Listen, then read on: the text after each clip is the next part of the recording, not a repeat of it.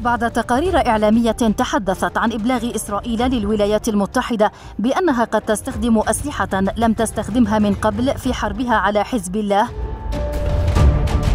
وزارة الدفاع الإسرائيلية تجري تجربة لمنظومة إطلاق وتوجيه صواريخ باليستية دقيقة من قاعدة وسط إسرائيل. رئيس هيئة الأركان المشتركة في الجيش الأمريكي الجنرال تشارلز براون قال إن بلاده لن تكون قادرة على مساعدة إسرائيل في الحرب ضد حزب الله كما ساعدتها في اعتراض الهجوم الإيراني في أبريل محذرا من احتمالية مساعدة إيرانية للحزب. تصريح أمريكي تبعه تهديد إيراني من قائد القوات البرية في الجيش قال فيه إن إسرائيل ستواجه ردا قاسيا إذا غزت لبنان إذا هي حرب تقرع طبولها مقلقة دولا كبرى عديدة.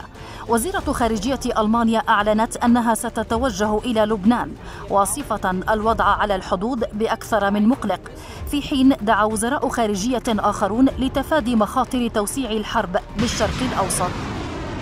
هذه التحذيرات الدولية تزامنت مع تصريح نتنياهو الأخير بأن القتال الضار مع حماس شرف على الانتهاء ما سيسمح لإسرائيل بنشر المزيد من القوات على الحدود الشمالية مع لبنان. الأمر الذي اعتبره مسؤول السياسة الخارجية في الاتحاد الأوروبي جوزيف بوريل بمثابة تأكيد على رفض نتنياهو لخطة بايدن بشأن غزة ومؤشرا على انتقال حرب غزة إلى لبنان.